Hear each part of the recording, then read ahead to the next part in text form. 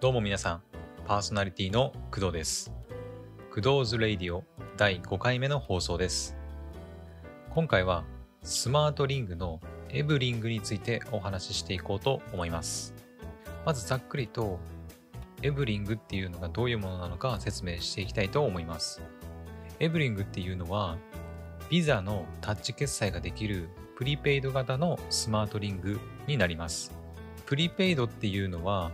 事前にチャージ、まあ、いわゆる入金をしてから支払う方法のことでおそらくみんなやったことあるかなっていうふうに思うんですけど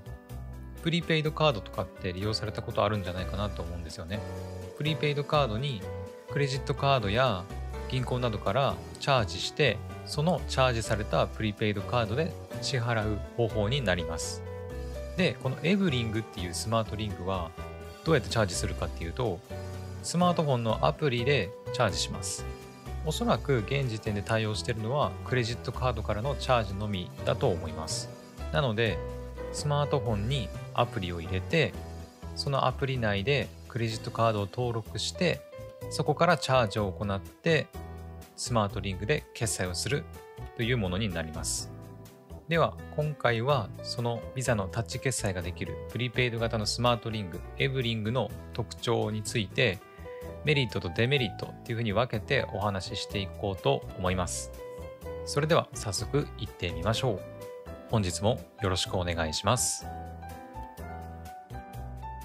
クドーズ・レディオ。この番組はフリー BGM ムズムズの提供でお送りします。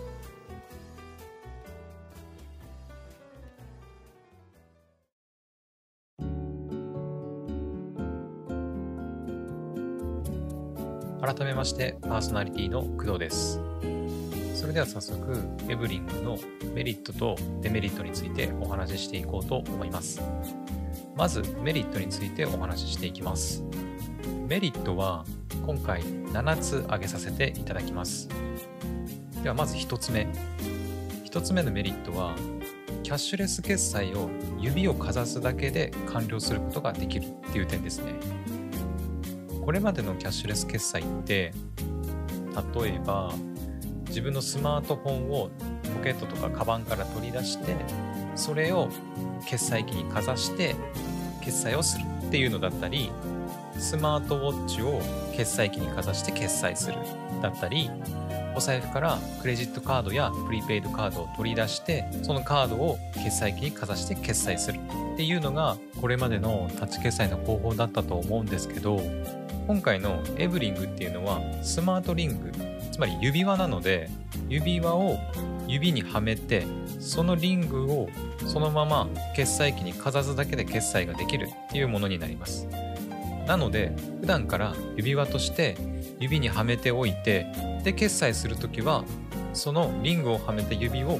かざすっていうすごいシンプルな決済スタイルになるんじゃないかなっていうふうに思います。メリット2つ目。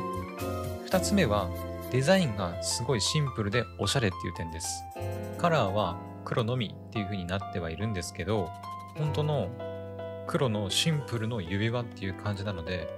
すごいおしゃれに見えて普段からアクセサリーとしても使えるんじゃないかなって個人的には思ってます。また素材もセラミックなので金属アレルギーを持っている方でも何の心配もなく使うことができます。メリット3つ目。で3つ目はセキュリティが高いから安心して使えるっていう点です。今回のエブリングみたいな小さいデバイスってなくしたりする可能性も全然あるかなっていうふうに思うんですけど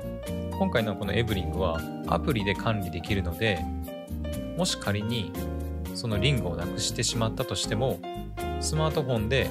利用の停止が簡単にできるのでもし仮になくしたとしても勝手に使われたりする心配がないのでセキュリティがすごい高いっていうところがいいなっていうふうに思います。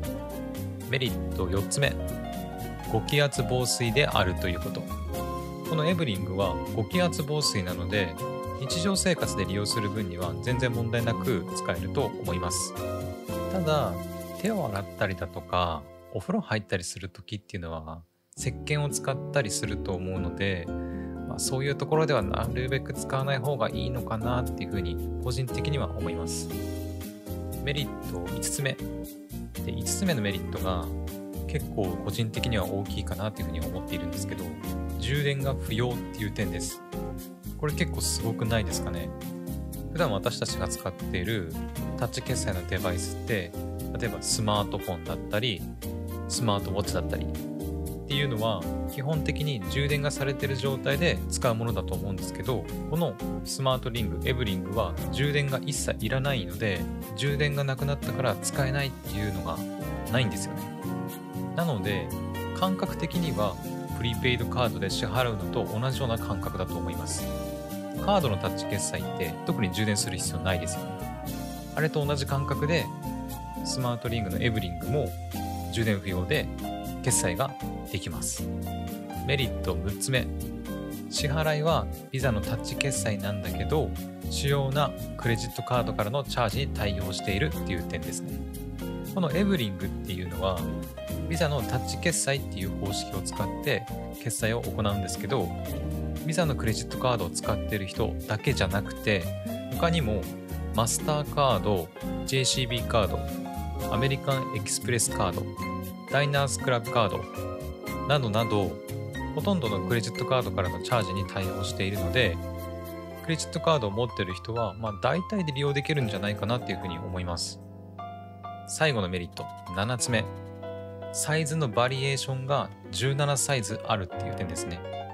指輪っていうのは指にはめるものなので人によって全然サイズが違ってくると思うんですけどこのエブリングはサイズが17サイズ用意されているので自分の指のサイズに合ったものを選ぶことができます。もちろん自分の指のサイズっていうのは自分で計測しないといけないんですけど計測して自分の指に合ったリングのサイズを選ぶことができるっていうのはメリットかなというふうに思います。続きましてデメリットについてです。デメリットは6つあります。まずデメリット1つ目。色が黒しかないっていう点ですね。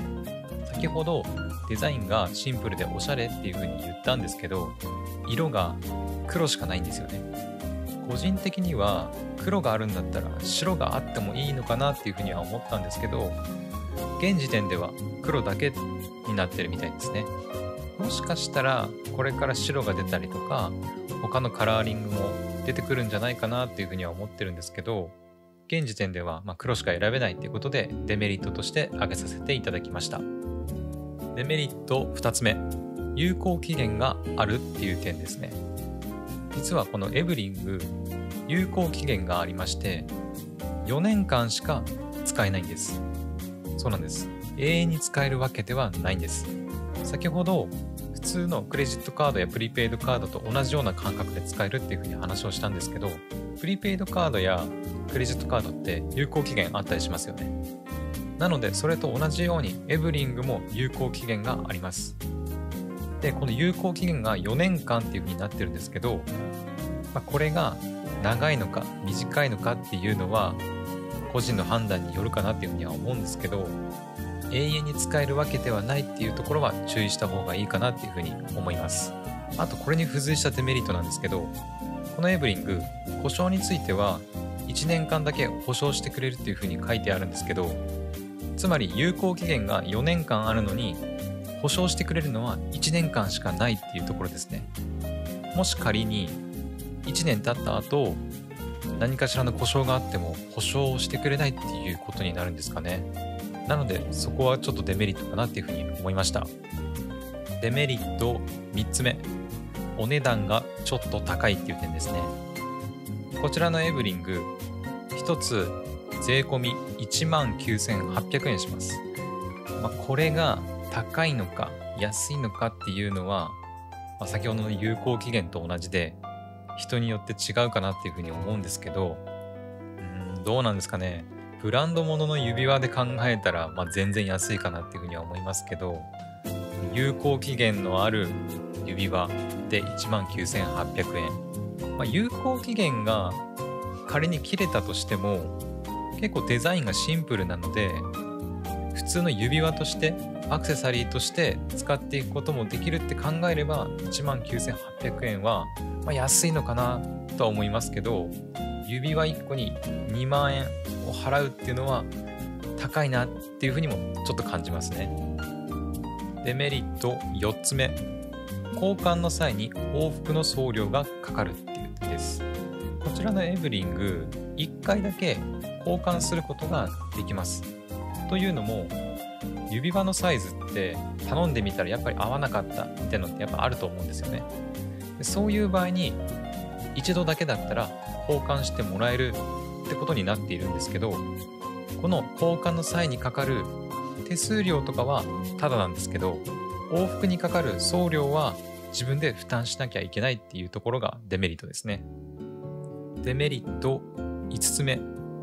一度しか交換できないという点。デメリット3つ目で言ったようにこのエブリング交換は一度しかできません。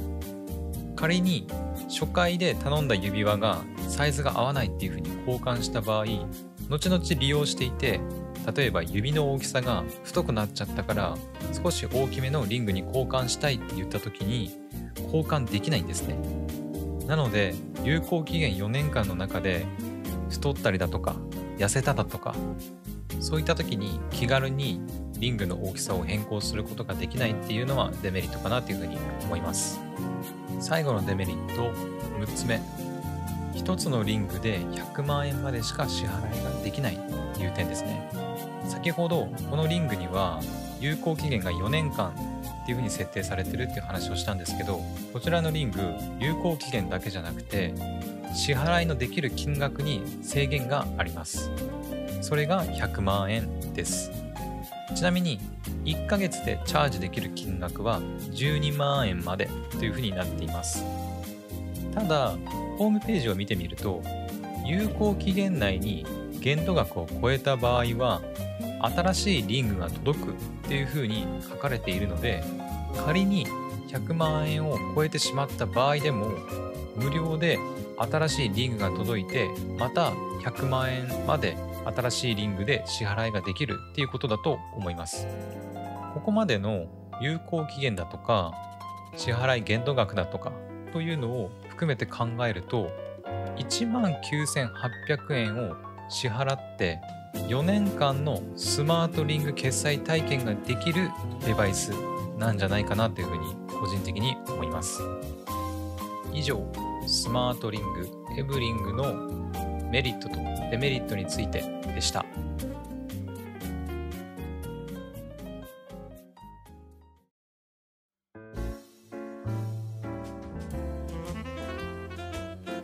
Kudo's Radio。エンディングのお時間です Kudo's Radio では皆様からのお便りを大募集しております。意見、感想、質問、アドバイス、何でもいいので送っていただけると嬉しいです。今回の放送いかがだったでしょうか？今回はスマートリングの EVERING の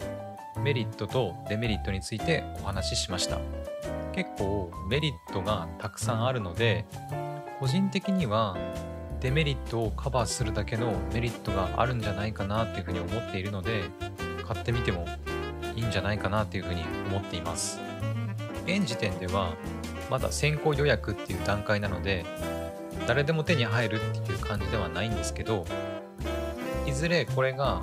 いつでも買えるような状態になった時には是非買って使ってみたいなっていうふうに思ってます。有効期限が4年間っていうふうにあるので仮に今年買ったとしたら2025年くらいまでは使うことができるので1万9800円を支払うのは、安いんじゃないかなってやっぱり思いますね。ただ4年間っていうと結構な期間があるのでもしかしたらこの間に有効期限っていうものがなくなったりだとかもしくはもっと短くなったりだとかいろいろねルールが変わったりするっていうこともあると思うのでそういったところについてはねどんどんいい方向に変わっていってほしいなというふうに思います。はいというわけで本日の放送はここまで。それでは皆さん次回の放送でまたお会いしましょう。お相手は工藤でした。バイバイ。工藤ズレイディオ。この番組はフリー BGM ムズムズの提供でお送りしました。